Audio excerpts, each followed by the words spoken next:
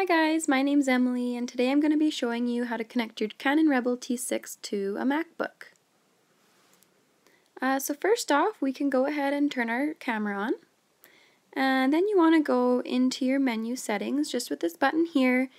And in your settings, toggle over to the third wrench, which brings you to your Wi-Fi settings. And you want to make sure that your Wi-Fi is turned off. So just press disable and then we can go ahead and turn our cameras off. So now we want to use our cord here that came with the camera.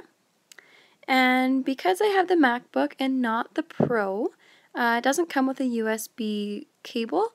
So I just had to buy a port and then it just plugs in into the charging port there.